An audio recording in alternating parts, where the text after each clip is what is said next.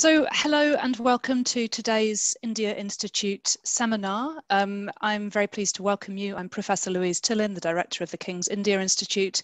Um, and today marks the beginning of a mini series of seminars within the main India Institute seminar series, um, which we are co-hosting with Professor Ananya Kabir, um, Professor of English Literature at King's and Dr. Luca Raimondi, who has just rejoined King's um, as a Marie Curie postdoctoral fellow. This mini series series uh, look, is entitled India's Archipelagic Imaginaries um, and looks at India and the Indian Ocean world in the early post-colonial period. Um, and the series curated by, uh, by Luca um, seg segments within um, his uh, new Marie Curie postdoctoral fellowship. So we're really delighted to be launching this series today and, and welcome you all um, to what I'm sure will be a very interesting um, seminar on the Andaman Islands. Um, I'm going to hand over to Luca, who will chair today's session and introduce our speaker. Thank you. Thank you very much, Louise, for welcoming us today and for giving us the opportunity to organize this uh, thematic sub-series. Uh, we really appreciate your hospitality um, and are also thrilled to be part of uh, you know, a lineup of events uh, uh, that the King's Institute is offering this year. Um, um, before introducing the seminar today and Shazia, uh, our speaker, um, I just want to provide just a couple of minutes, I will, I will take, uh, of, of context um, um, around the organization of this mini-series uh, on uh, archipelagic Indias. Uh, the context, as Louise anticipated, is that of my uh, research project, um, the Marie Curie project that I'm working on with um, Professor Ananya Kabir as my supervisor here in the English department uh, at King's. Um, and for my project, I am um, looking at uh, how a group of Indian writers and intellectuals in the first roughly two, three decades after the independence of India inhabited the Indian Ocean region as um, um, a social, as an affective space, uh, a space that was marked by personal and family relations, by individual and by collective memories, um, but, but also how this region then functioned um, for them, uh, both as a conceptual geography uh, one that informed or sometimes clashed with the um, cultural politics of the time, and as a, a, a space of and for also literary imagination, an imaginative geography, if you will. Um, and when we started thinking about the project uh, and we tried to retain for it a non-territorial epistemology uh, uh, and uh, an anti-essentialist uh, conception of culture, we you know, instantly looked um, for our methodological scaffolding at the body of, of, of, of theory, of philosophical works on um, archipelagic thinking uh, that originates uh, from the Caribbean. Um, you know, mm, archipelagic theory usually is is thought to be mostly produced by, it is actually by Caribbean writers and thinkers uh, in many languages, such as, for example, Edouard Glissant, um, Antonio Benitez Rojo, um, Kamau Brathwaite, and also by more recent scholars uh, working on the Caribbean uh, themselves. Uh, but you know this very elementary recognition that that is that was also the go-to area for our body of, of knowledge. Um, and you know the recognition that of course a translational act was required for, for using this body of knowledge in the context of my of, of our research project alerted us more and more to the importance of of learning from the experience from the stories and possibly also you know, from the notions that originate from other archipelagic spaces, such as the one that exists in the Indian Ocean, or specifically the ones in the Indian Ocean and in or around India itself.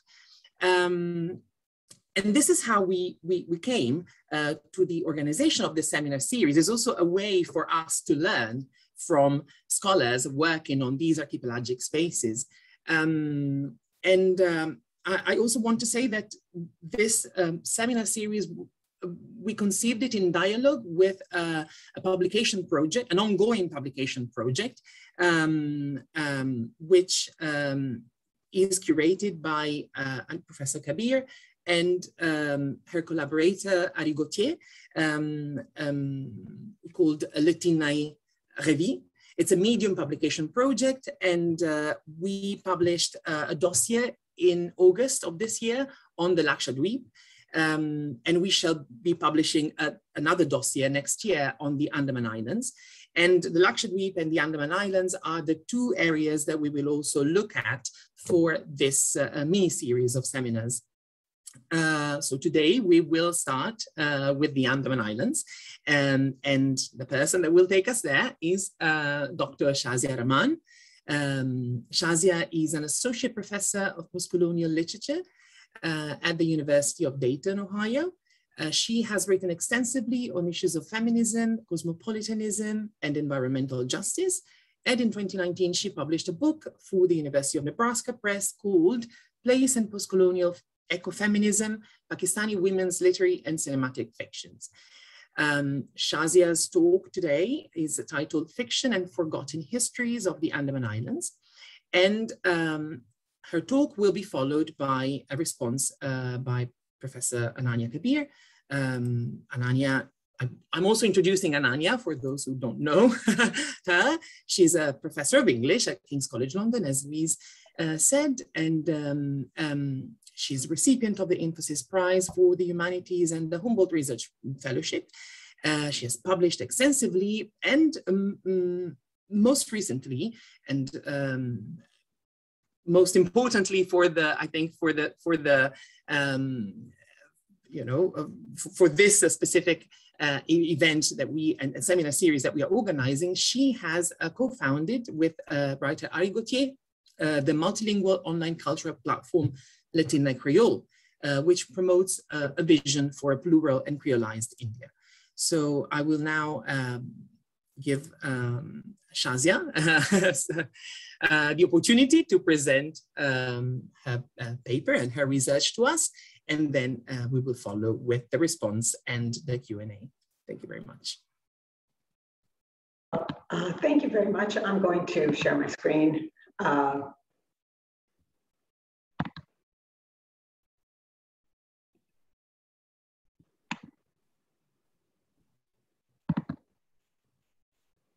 Okay, can everybody see that?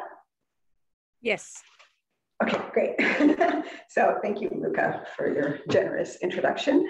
Um, I really appreciate this invitation to present. I've been uh, enjoying learning about the Andaman Islands. This is a new project for me. Um, and I wanted to share first with you um, its exact location. Um,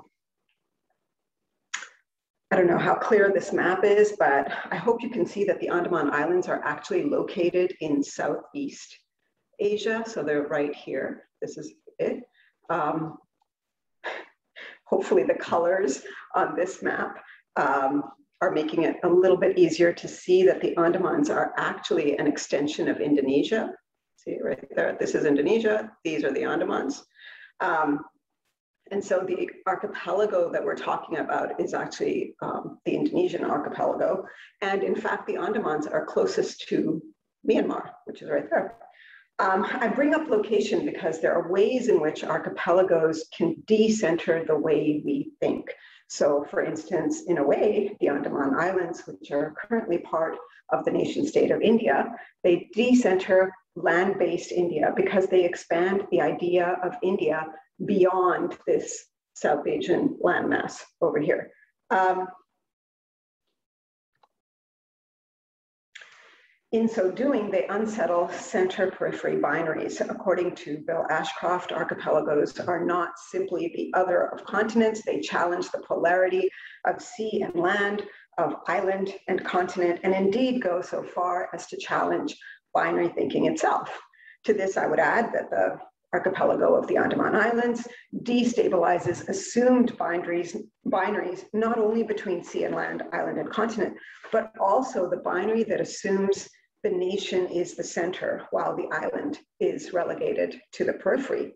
And the reason I bring this up is because I want to talk today about this novel, um, The Miraculous True History of Nomi Ali. This is Uzma Khan's fifth novel, and it's set in the Andaman Islands from a little bit earlier than what Luca was talking about, 1936 to 1947, uh, during the British colonial rule as well as Japanese occupation. In this novel, the Andaman Islands are not relegated to the periphery at all. They are at the center of a really important and forgotten history.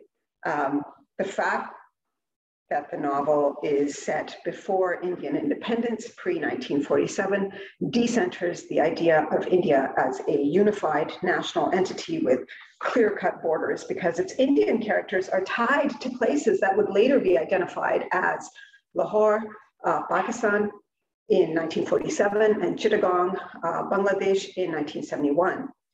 This has the effect of expanding the very idea of India beyond its current borders in addition, as readers, we learn about the imperial influence of characters from England and Japan. Uh, in this sense, the novel follows history closely to present us with characters that we know could have lived there at that time.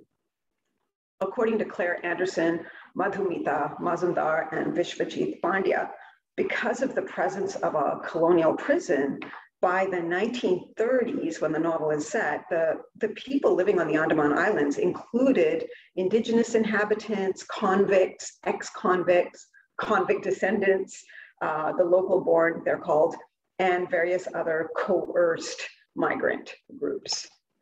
So the plot of the novel awful, follows um, an unnamed Indian woman political prisoner from Lahore, referred to only as 218D, who arrives on South Andaman Island in 1936 as the novel begins. Her mistreatment in the colonial prison attracts the attention of a Burmese uh, local born boy, I, whose great grandfather was deported to South Andaman Island in 1858. I asks the indigenous Andamanese Loka to help the female prisoner escape the British jail. Eventually, he and the rest of the local borns discover that, in fact, the Japanese occupation is no better than British colonialism. Um, and as World War II rages on around them, all the characters have to figure out how to live. Um, the two main characters who survive the violent events of the novel are Indian Nomi Ali and Burmese I. So what's really interesting about their survival is that it clearly has something to do with their ability to listen. In fact, the final words of the novel describe both as listening. Together they watch, they listen, end quote. And what they listen to are the islands themselves, which can be heard by a number of characters in the novel. In the case of I, even when the island is silent for some time, um, this is a quote from the novel. For the first time since the war began, the island had spoken to him again. Uh, Nomi tells I that she can even, quote, hear the islands breathe, end quote. In this way, their resilience, their ability to survive, is the result of their openness to the islands, their voices, and their winds. And I bring up winds because, in addition to the human characters in this novel, we also have non-human characters who are winds that speak for the islands. They can be heard by indigenous characters like Loka and also non-indigenous characters like I. When the winds speak for the islands, they say very specific things about resisting the British and the Japanese and protecting human and non-human beings. In addition, the novel's use of winds includes Andamanese no, Indi indigenous notions of time that connect the past with the present and future. So, in my reading of the miraculous true history of Nomi Ali, I argue that it presents a version of archipelagic thinking grounded in indigenous knowledge and perceptions of time. The novel illustrates this way of thinking through winds which are non-human characters who speak to human indigenous and non-indigenous characters alike. Since the narrator always presents the wind's words as the islands, I call this knowledge archipelagic because it comes from the islands. Just as Nomi and I learned to listen to this archipelagic perspective, I argue that we can all learn from what the winds tell us, especially those of us who are interested in island studies. So the need to rethink dominant perceptions of time has become particularly pressing owing to our current climate crisis. According to Stef Craps, quote, the sheer quantity of memory research that has been done since the 1980s has given rise to a fear that our apparent fixation on memory has become disabling in the sense of diverting our attention away from the need to face the future, end quote. However, Uzma Aslam Khan's careful attention to place helps us remember a forgotten history in order to draw connections with both our present and our future. The novel depicts indigenous Andamanese characters such as Loka and Lulu, whose worldviews and language are surprisingly similar to what the Onge, a particularly vulnerable tribal group of the Andaman Islands, uh, described to anthropologist Vishwajit Pandya during his fieldwork there. In their discussions with Pandya, they reveal how they conceptualize history. Pandya explains both past and future are apprehended within the present, and this experience of time is described as Dotequata, the past is seen as an experience that has gone by like the winds, not as something left behind for good, any more than the winds leave the island permanently, end quote. And while the term Dotequata never appears in the novel, winds are influential characters who speak to humans and guide them in ways that protect non-humans, resist both British and Japanese imperialism, and are beneficial for the future. Thus, in the novel, the winds help apprehend an archipelagic thinking grounded in the Andamanese concept of Dotequata that does not section off the past and future from the present, and instead helps characters and readers understand intersections that help move away from what Mark Rifkin calls settler time. In his important book, Beyond Settler Time, Rifkin articulates, quote, indigenous peoples and peoples uh, means of envisioning futurity through connections across time and with non-human entities, end quote. So while Rifkin's focus is North America, his inclusion of all indigenous peoples in his theorizing makes it possible to see Dotequata as similarly collapsing past and future in the present while attending to non-human entities in ways that are beneficial for all.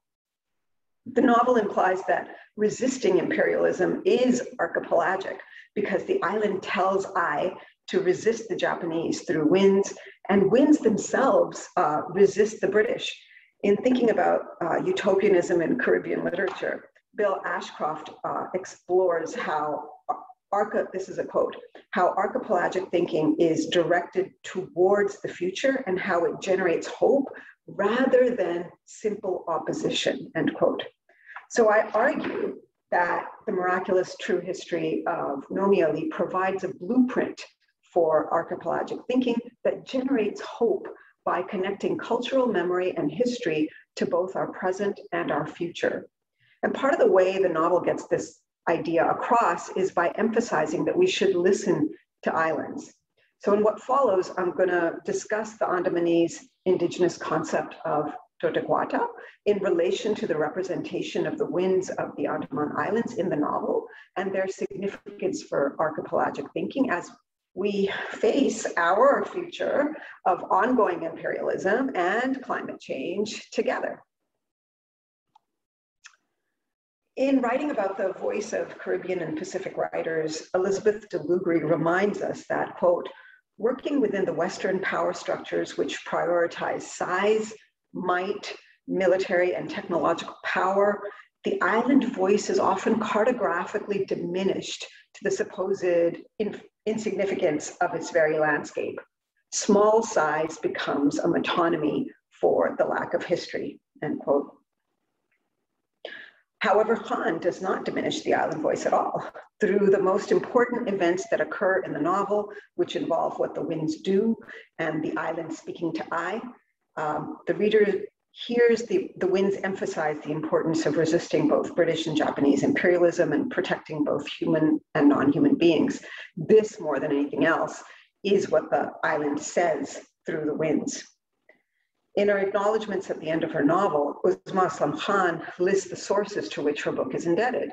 For details about the islands, she lists Vishwajit Pandya's In the Forest, which came out in 2009, which is the result of Pandya's decades long anthropological fieldwork on the islands, as well as Madhusree's Mukherjee's The Land of Naked People, which is based on seven years of research.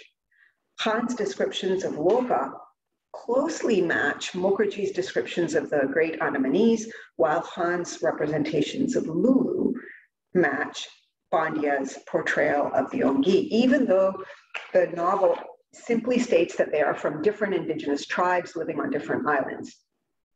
The clearest evidence that these characters are based on the people Mukherjee and Pandya met is that of language, since many of the words used by Loka and Lulu in the novel are the same words Pandya lists in his book. For example, the words Kugebe, Kug, sorry, Kugebe War and Lohaye Iron appear in the novel when the female prisoner from Lahore escapes from her cell with Loka's help and goes to live with Lulu's, pe Lulu's people on another island. So here, uh, Lulu's son Lalaram, who is descended from another escaped Indian convict, speaks multiple languages and uses these words to speak to the prisoner. When she asks what's going on, he responds, uh, quote, Kugebe, war. Uh, Lalaram goes, continues to try to teach the prisoner his language, and he says, Lohaye, uh, touching first the arrowhead and then her hand, end quote. So these linguistic similarities between the Onge that Pandya lives with and the characters in Khan's novel invite a reading of the novel through Andamanese indigenous knowledge. All the winds represented in the novel are crucially important given the fact that Khan draws inspiration from Pandya's interviews and fieldwork. Since winds are non-human, it comes as no surprise that Khan has included them as characters. In fact, one of the most compelling aspects of Uzma Aslam Khan's fiction is her inclusion of non-human characters. When the island speaks to I, it speaks through winds. I names all the winds he hears, um, and Loka also names, uh, he has names for the winds that he hears, and Lulu actually uses the names that the Onge use according to Pandya, so it's like the same names. The, the non-human characters we meet are female winds who protect a pregnant pig from two British officers and their two Indian employees who come to their island during the Japanese occupation in 1943. Their goal is to retake the Andamans from the Japanese, but the three winds send them away. Even though the two Indians were both forest workers who knew the islands well, they did not, quote, hear the winds, end quote, the way I, Luca, uh, sorry, Loka, and Lulu are all able to. So winds are portrayed as intradiegetic characters whose genealogy can be traced. Uh, quote, the northeast wind, my Akangne, woke up her quick-tempered sister, the southwest wind, Kwalakangne, together they woke up their mother, end quote. This is from a novel. When the British officers asked the Indians to shoot the pregnant pig, the winds protect her and then, quote, get rid of the men as the four men leave, it's clear that these winds have an agenda that resists British imperialism and protects non human beings. Since the winds in this novel speak for the islands, their agenda and their actions can be considered archipelagic. In addition, these three winds names are those used by Lulu's tribe who are based on the Onge. We know this because when the prisoner from Lahore first goes to live with them, uh, and the storm would seize her, the children in the novel call her Kwalakani. This is their name for the quick-tempered southwest wind. According to Pandya, the Onge use myths to explain their history and their future. Quote, the very changes of weather are explained by the winds that blow from beyond and on which the spirits ride. So by describing three winds as female characters in the novel, Khan implies that these are three of the spirits of the island for Lulu's tribe. Thus, I argue that in the novel, listening to the winds, regardless of their names, is listening to the island spirits who speak for the islands. Like Lulu's tribe, the Burmese character I also has a long catalog of winds that he listens to. Quote, he had names for each wind, and one day he would teach Nomi the yellow angel, the praying mantis, the father, the friend, end quote. The, the wind he calls the father is a cold wind. His own father is also cold and distant because the British experimented on him as they tested drugs such as uh, quinine on convicts on the island. And according to Aparna Vaidik, um, experiments for treating leprosy with gurjun oil and quinine for malaria were conducted on the convicts at that time. So as a result, Ai's father is silent, aside from muttering as he sits on his rock, while Ai's mother and grandfather actually raise him. So on the night when the Japanese decide to round up and drown hundreds of villagers, the father wind visits Ai, one of very few swimmers on the island. Quote, something was happening tonight, the wind said, the roundups, whatever they were, they had only just begun. Hunger wanted him to drift into a slow end without memory, but the wind wanted him awake. The two forces waged a war inside him, end quote. The island, which speaks to Ai through the winds, is waging a war to awaken Ai rather than allow him to forget the history of imperialism as well as his personal history and memories. Hunger and bodily needs keep him from resisting, but the island has other plans. Just as the female winds resist the British and protect the pig, here the father wind exhorts Ai to resist the Japanese and protect the local borns. The novel implies that listening to the winds who speak for the islands can give us strength. The father wind, quote, had never before given him strength, but tonight it was attempting to do just this. The wind began to take shape, the shape of his father, before the pharmaceutical experiments, when he had been able to distinguish between rain and shine, between soiled clothes and fresh, when he had laughed and loved, this wind that was taking shape, it was standing up with feet that were very fine. I too must stand up, end quote. The cold wind that I calls the father wind actually becomes the spirit of his father to help him remember the violence of British and Japanese imperialism. It reminds him that he can help. I was a healer. There were people who needed him. Stand up, said the father wind, rising now to its full height, dwarfing the rock on which it had once sat. Stand up and receive this world again, end quote. The island, speaking as a wind in the shape of his father, convinces Ai to join the people entering the boats from which the Japanese will push them into the ocean. Ai's presence and ability to swim help him save Nomi's mother, all because the island spoke to him through the father wind. So this is a crucial moment of epiphany in the novel because until this moment, I, who had not who, who had always listened to the wind, felt this, that his choices were the wrong ones, that listening to the winds did not lead him to making the right decisions. Specifically, I regrets choosing to help Loka retrieve the skull of his sister's dead husband from his British employer. Pandya explains that one of the primary occupations of Onge hunter-gatherers is to manufacture, quote, talismanic items like amulets made of human bone. And even uh, even provides a photo of an Andamanese woman with her dead husband's skull. Um, so in the novel, Loka tells Ai that if he helps him get the skull, then Loka will do any one thing that Ai asks of him. Ai decides to help Loka, and in return, he asks Loka to facilitate the prisoner's escape from jail. This decision makes it impossible for I to assist his best friend, Z, Nomi's brother, who later ends up dying at the hands of the Japanese. Quote, it seemed to be the way of the island that whenever there were only two sides, neither was right, end quote. However, when the island speaks to him through the father wind, he's finally told that in listening to the island, he has been making the right decisions, the right choices. The island tells him that he had been right that day. He took, this is a quote, he had been right that day. He took the skull. His hands were able to link people and they still held this power. I had done right by Loka and the prisoner. He would soon see. He would do right again, end quote. The island's words here come to I through the wind, and the significance of these words lies in the emphasis on linking people. According to Ottmar Ette, the quote island metaphor leaves room for at least two interpretations.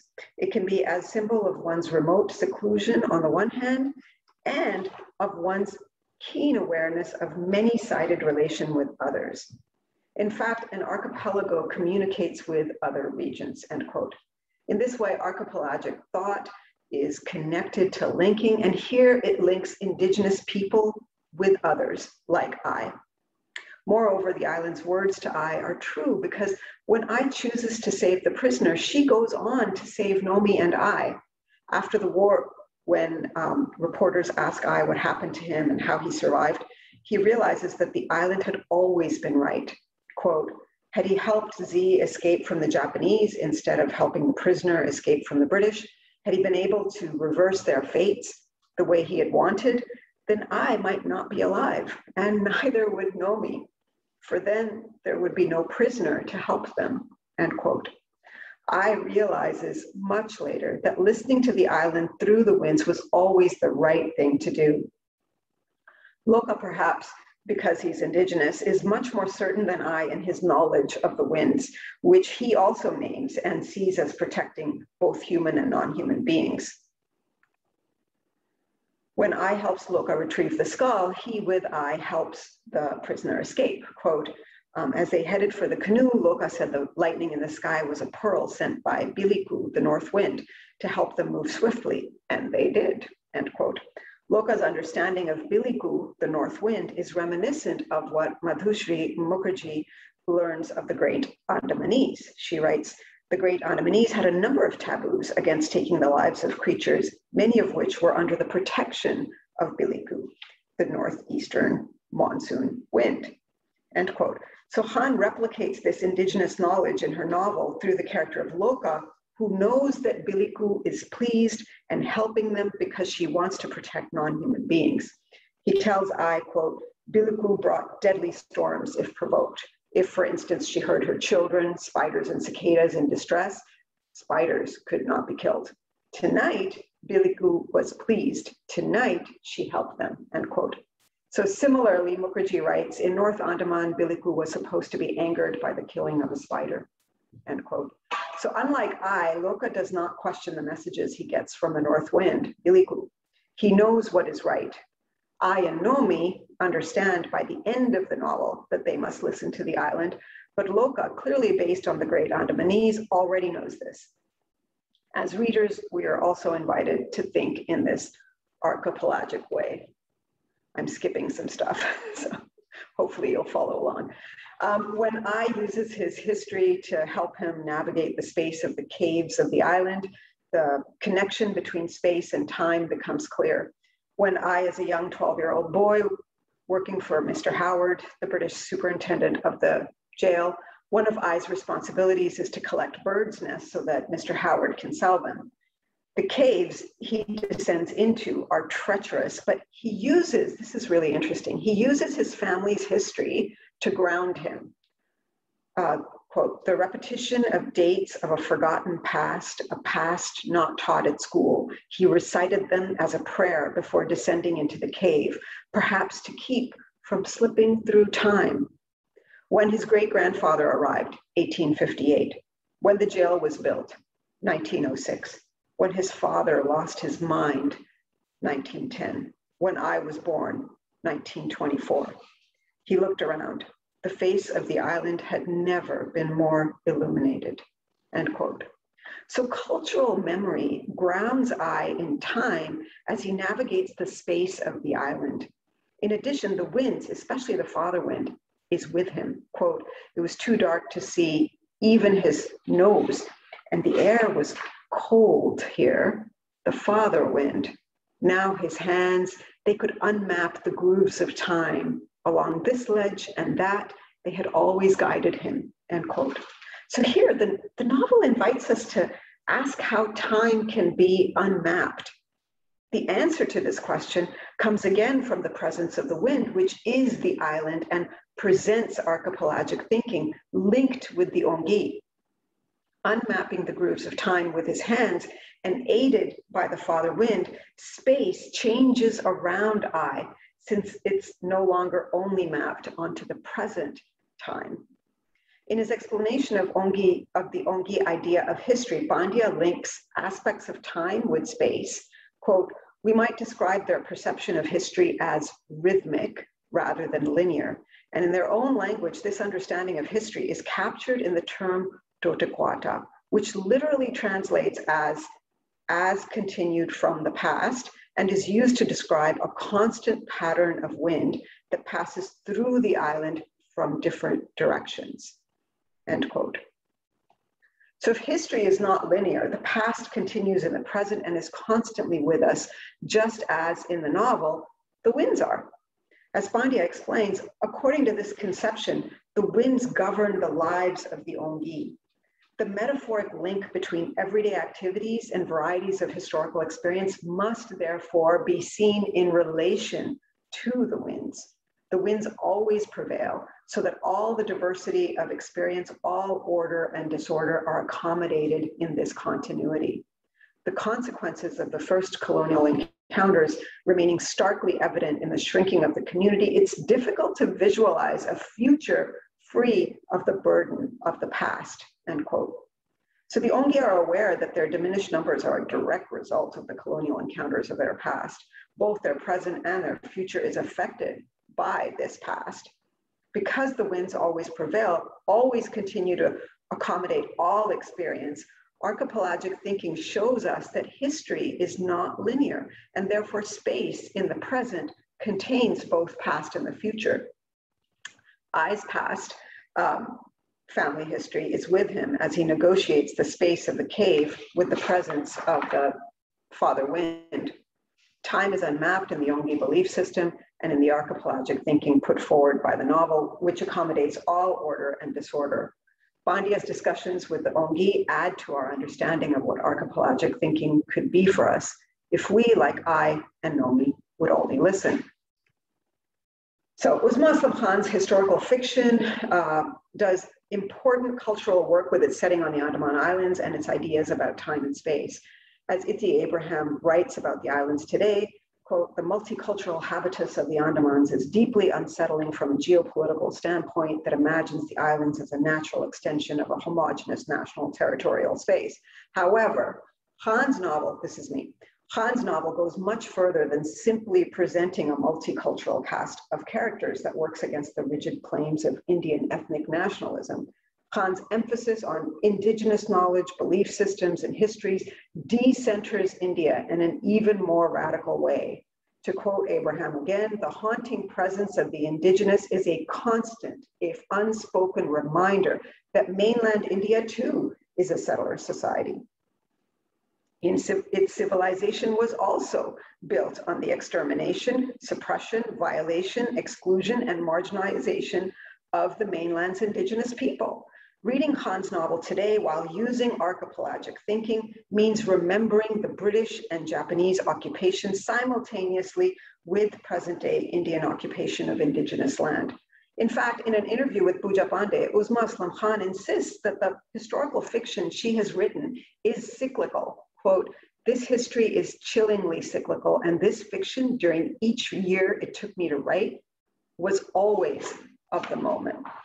Part of what makes this novel of the moment today is that as we consider the indigenous knowledge that Khan has weaved into her novel, we cannot ignore that present day Indian occupation of indigenous land has led to environmental movements. According to Aloka Amartya, the Gond, Halba, Dorla, and Muria Adivasi tribes have been agitating against the government's push to expand the extraction of mineral resources from their homelands.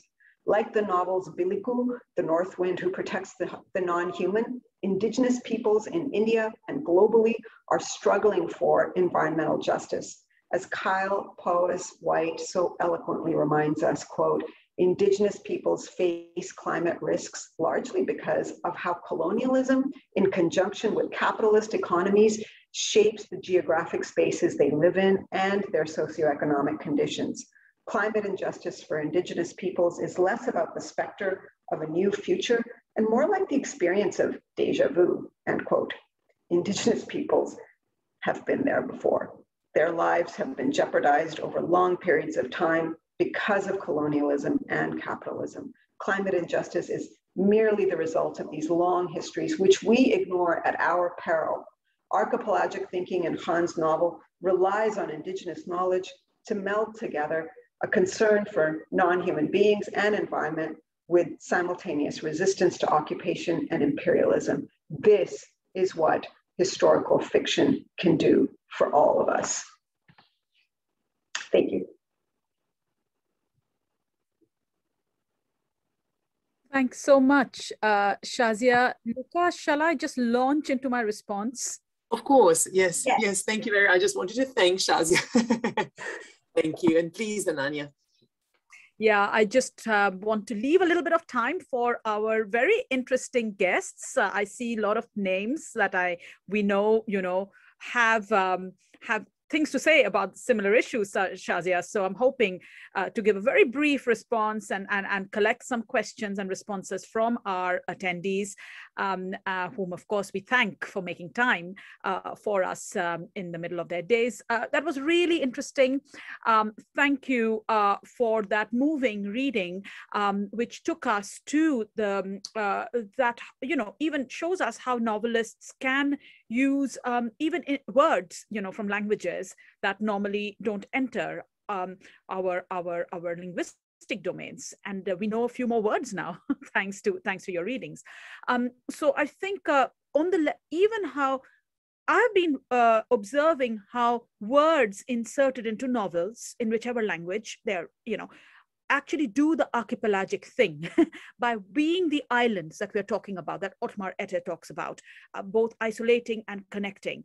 And I, I find the words like um, that you have cited um, from the from the indigenous languages and you've used, I think are those are archipelagic in their uh, rhetorical power.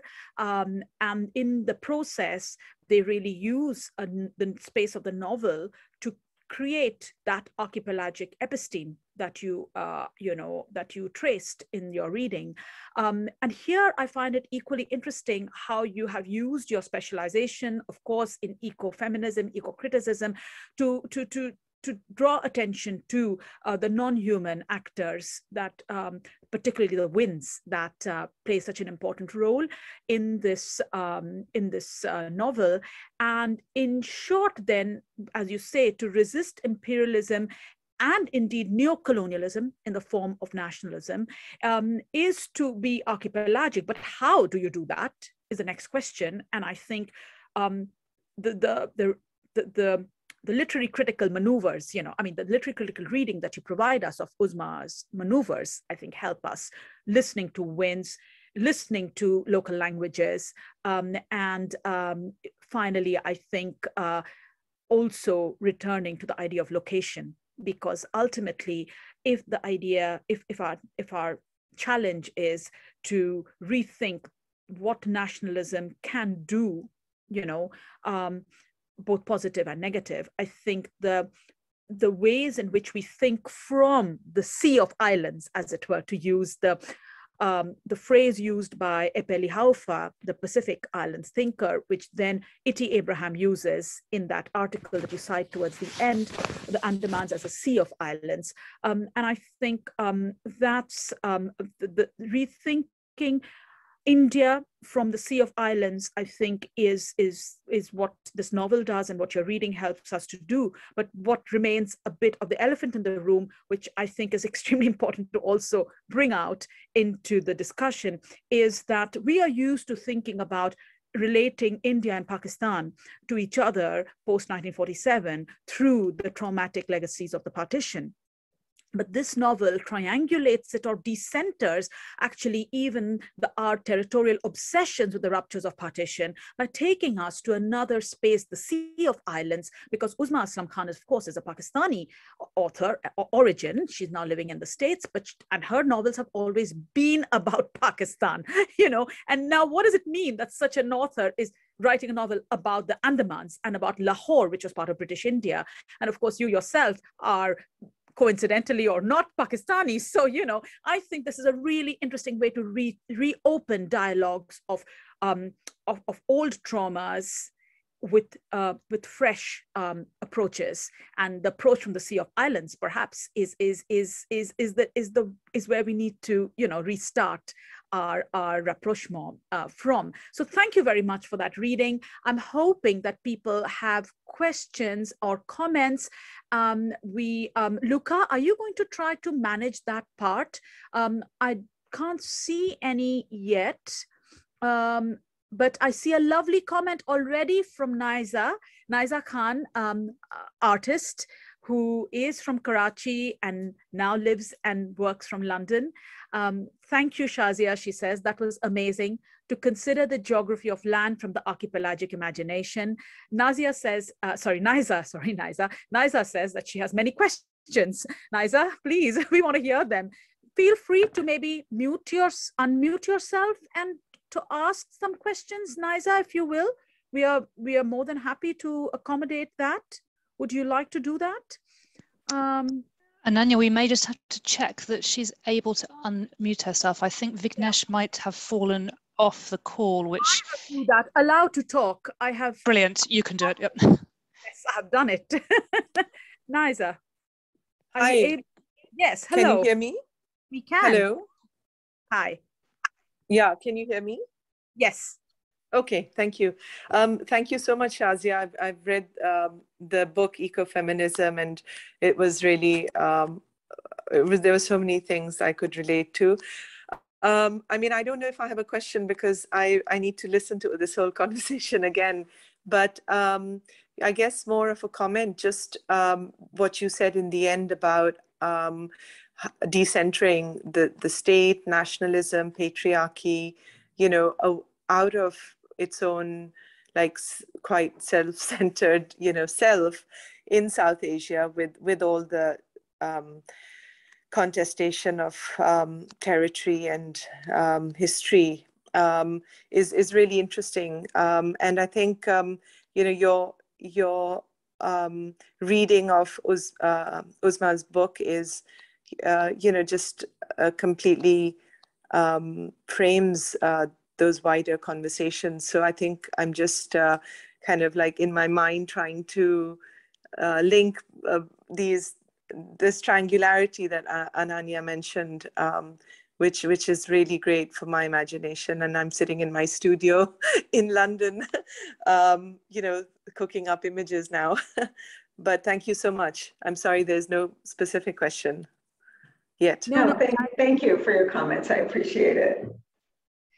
Actually, Naiza, if I may, the the the work of yours that I uh, saw when you you know at the Venice Biennale, which uh, where you were representing Pakistan at the first ever Pakistan Pavilion for the Biennale, um, there was this uh, use of winds, you know, and sound. Uh, uh, Shazia, I don't know if you're aware of this work of uh, which both involves cartography. Of course, it's speaking of the coast of of, of you know Karachi and Manora Island, but there is a lot of sonic effects of winds and bird song and the recitation of um, of colonial records of weather which are recorded at the observatory. So you know there's a lot of I think elements there, literally, um, which, which yeah. to the questions that you raise.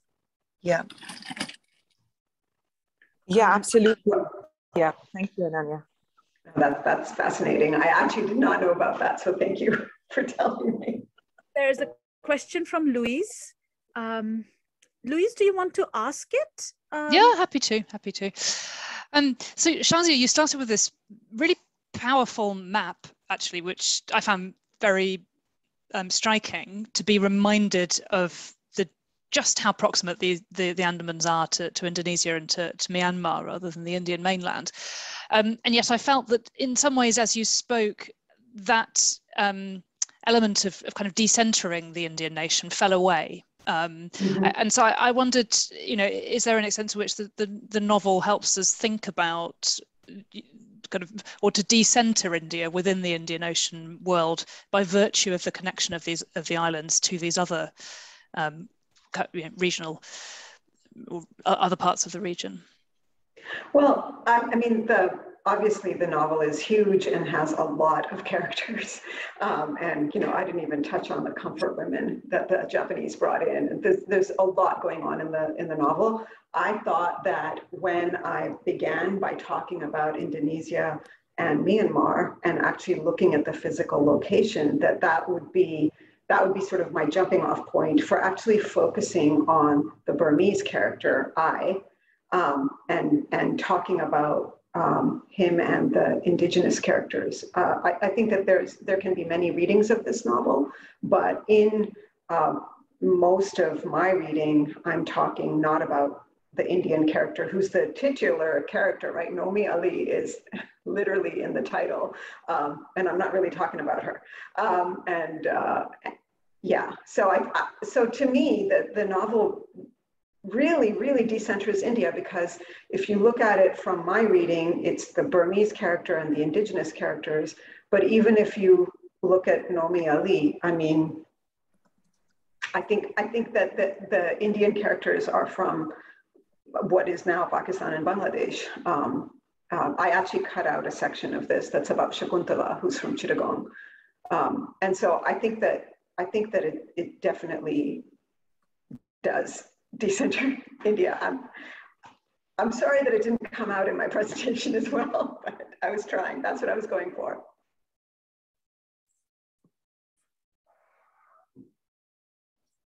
Do we want to ask uh, Nilofer to ask her question? Thanks uh, for the response, Shazia, and also, of course, for the question. Nilofer.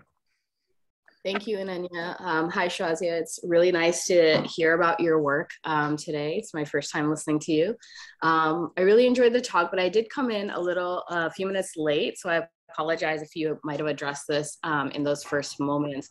Um, but as you were speaking, um, it really reminded me of what a wonderful time it is to be doing this kind of Indian Ocean work. As somebody who is working on their first book right now, I'm just really glad to have both senior professors and um, colleagues who are, you know, junior scholars writing their first books or writing their dissertations. Um, and your talk really reminded me in particular of um, Sritama Chatterjee's uh, recent MLA talk on archipelagic thinking in the Indian Ocean novel. Um, so I was wondering, um, you know, in, in your larger project, to what degree um, are you scoping out to other um, areas of the Indian Ocean? Like, are you following your text in that regard or like where your methodology is in that? Um, and then also if you see this work that you're doing in the Indian Ocean, archipelagic thinking and eco-critical approaches to it, like vis-a-vis the wind, um, contributing to Caribbean studies where um, conversations about archipelagos are sort of longer going than we've had in, in South Asian literary studies and certainly in Indian Ocean literary studies. Thank you so much. Yeah, I mean, I uh, I did mention at the beginning that this is a brand new project for me. so um, I have been looking at uh, what's what's been coming out of the Caribbean, and certainly that is that is what I hope that what comes out of um, you know all the work that we're doing that that then affects uh, what's going on in the Caribbean as well. I mean, that's that's the kind of thing that we all uh, want and do. Uh, but but it's also, I think, important to look at um, the specifics of certain contexts. I mean, there are things that are happening in the Indian Ocean that are different um, than the Caribbean, and uh, and and yeah. So I, I think, yeah, I'm going to be at the MLA in January, so um, I hope to see you there. And uh, yeah, thank you. I, I hope that answers your question. Uh, but thank you. Actually, Sritama was here too. But she um, she uh, had to leave early, so uh, maybe she'll you know catch up with you um, back channel as it were. But she was here. Um, there's a question from Rosa and a question from Munir, um, and maybe we'll make these the two last questions because I know that we also you know um, we, we, we, we, we are, we've got this time limit on us. Um, Rosa, would you like to ask your question? I've, I've given you the I'll put you on the screen. Yeah, um, yes. Uh, so my question was about um, essentially your read, well, the text and your reading of the text and how um, I felt like it uh, kind of gave um, a secondary role to uh, European colonialism and that there were, you know, other sort of actors in history that came in and that were also kind of oppressive forces. Um, and I was wondering if that was um, you know, part of what archipelagic, you know, thinking can do. And if also it is somewhat troubling to, you know, maybe have these different, um, these, yeah, these different, you know, negative forces onto, you know, indigenous thinking to be somewhat equal or, you know, to be compared in some ways. Does that make sense? Sorry. Uh, well, okay, I'll just tell you what I'm hearing you say. What I'm hearing you say is that um, it seems like the British colonial uh, imperialism or European uh, presence is sort of being negated by what's going on in the novel. And if that's what you're saying, then yes, that is definitely there. Although it's also uh, by bringing in uh, the Japanese occupation, which was also during that time, it's actually anti-European, but also anti uh, what the Japanese were doing, although the novel is really interesting in complicating all of it. So there are British characters who are very sympathetic, and there are Japanese characters who are also very sympathetic. And so, um, and so, yeah, I mean, I think that's that's why I'm in literary studies because I think that the world is always more compl- complicated than you think. And those complications can come out in literature in ways that sometimes, um, yeah, sometimes we, we, we try to simplify when we talk and when we try to explain ourselves. And, and I love that, that literature doesn't simplify. I hope that answers your question. Yeah, it does. Thank you. Rosa, I hope that was uh, somewhat of a you know starting point for for thinking about absolutely the complications of the novel of a novel and also how literary critical reading can bring those out. And in fact the final question which we've decided is going to be the final question which is from munir who's actually joining us from amu from aligarh muslim university. Um, uh, munir is actually also asking a kind of methodological question. So uh, munir would you like to ask the question yourself? Or uh, because i've put i've unmute i've put you there on the screen uh, thank you, thank you, thank you so much. And thank you, Professor Rahman, for your wonderful talk. So uh, mine is like a beginner's question. You know, have, this is something that uh, I've started uh, latching on to, the, the idea of uh, an archipelagic uh, thinking.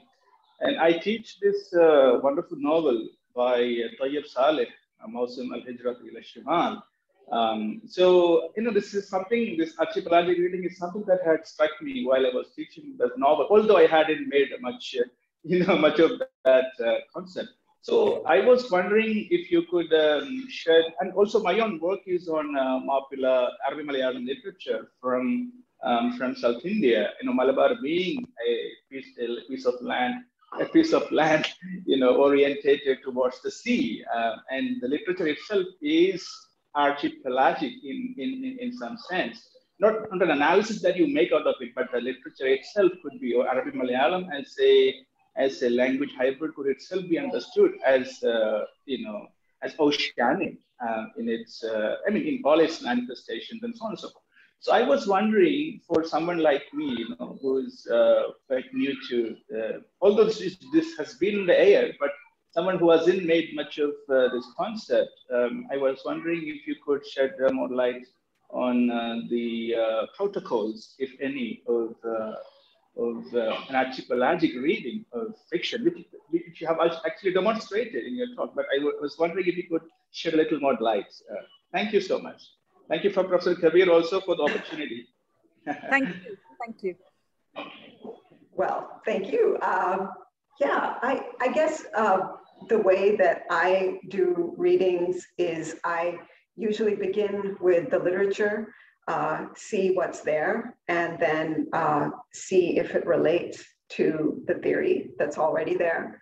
Um, and if it doesn't, if maybe there's other theory that can help shed light on what's happening in the literature. And so for me, it, I'm I always begin with the with my primary text uh, in terms of method. That that's that's where I begin. And so I I noticed these things in the novel, and then I went to the theory.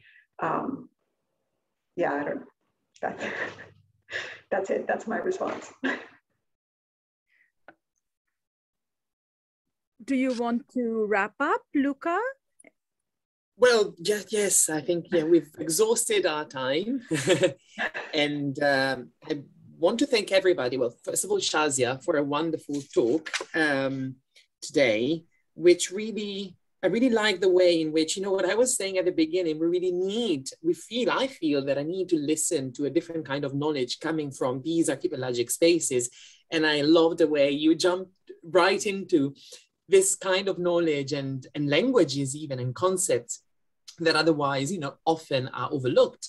Uh, and then surely I knew precious little about, or if anything, at all.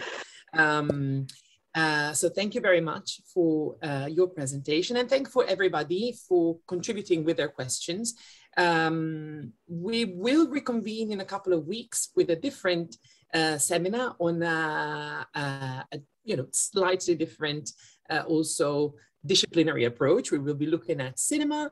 Um, so uh, keep in touch with us uh, and uh, um, and thank you very much everybody for uh, taking part today. Thanks a lot. Thank you, Luca, again, and Vignesh for, for kind of making this happen. Shazia for joining us and all the participants from different stages of academic life, including my undergraduates, right to our, our colleagues from the Malabar coast who are now in AMU, and uh, colleagues from North America, from, you know, from, from closer uh, to home. It's been really wonderful to, to share this moment with all of you. And thank you, Shazia, for sharing your work with us.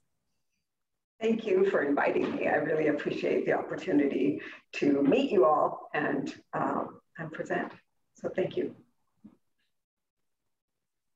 Bye, everybody. So see you next time. Bye-bye. Bye.